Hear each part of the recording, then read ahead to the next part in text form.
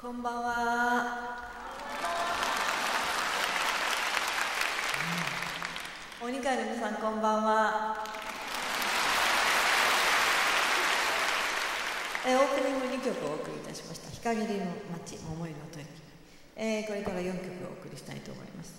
まず「ごめんプリム」そして「迷いまでのように」「時のせそして「はばやはがゆくする」4曲続けて聴いてください。